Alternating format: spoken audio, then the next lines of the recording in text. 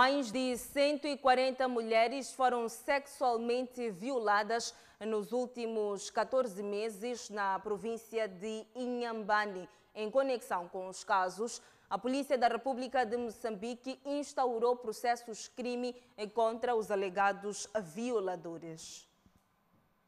A violação sexual continua no topo da lista do Gabinete de Atendimento à Família e Menores Vítimas de Violência em Inhambane e a principal vítima continua o sexo fraco, portanto, a mulher.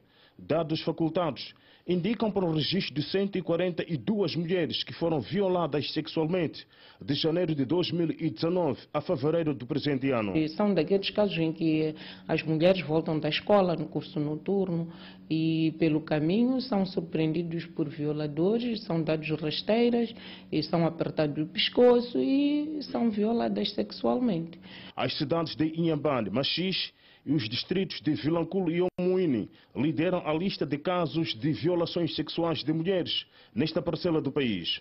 O Gabinete Provincial de Atendimento à Família e Menores Vítimas de Violência diz ter instaurado os processos crime contra todos os violadores. Tem um processo, quer seja contra desconhecido ou mesmo contra conhecidos todos estão na, nas mãos da, do Ministério Público. Contra desconhecidos, podem ser, pode demorar ser julgado, porque ainda está se fazer um trabalho de ver se podem, podemos conseguir neutralizar os judiciários, porque estamos a falar de desconhecidos, que nem a própria vítima não reconheceu no, no momento da violação dos seus violadores. Então, é um pouco difícil eh, ter que afirmar categoricamente que estes casos já foram julgados. Mas para os casos em que os seus violadores são pessoas conhecidas e conseguimos neutralizar, tenho a máxima certeza que sim, foram julgados e foram condenados.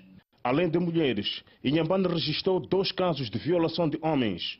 A implantação de secções de atendimento nos postos policiais nos distritos de Govuro, Mabote, Funhalouro, Omuíne e Massinga está a incrementar denúncias ao Gabinete de Atendimento à Família e Menores vítimas de violência nesta parcela do país.